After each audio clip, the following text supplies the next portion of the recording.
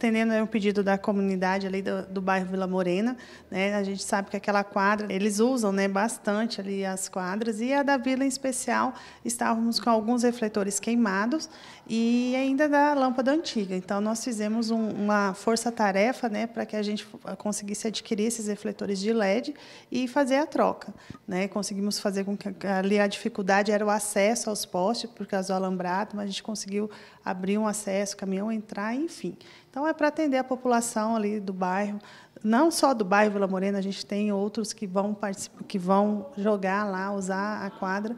Então, a gente já fez esse primeiro é, essa primeira manutenção, que é a troca dos refletores, né? dando, sim, maior qualidade é, de iluminação ali para aquela região.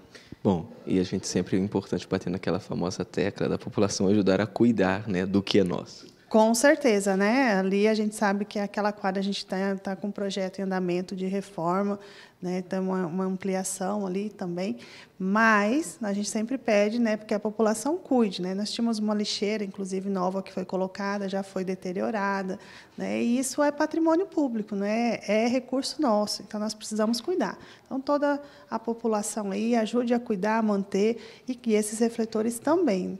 Bom, vice-prefeita, ali, né, esses refletores ali foram colocados, refletores de LEDs. É importante a gente mencionar também aquele projeto do governo do estado que distribuiu lâmpadas de LED para sociedade, para todos os municípios aqui.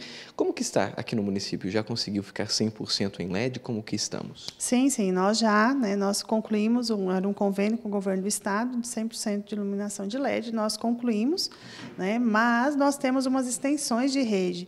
E essas extensões de rede nós já estamos fazendo também com a lâmpada de LED. A Secretaria de Infraestrutura adquiriu as lâmpadas, então hoje a gente já faz a extensão e já colocando essas lâmpadas de LED. Temos vários pontos ainda a serem feitos, né? já falando à população para ter um pouquinho de paciência, que a gente vai estar atendendo aí esses pontos escuros que ainda existem na nossa cidade.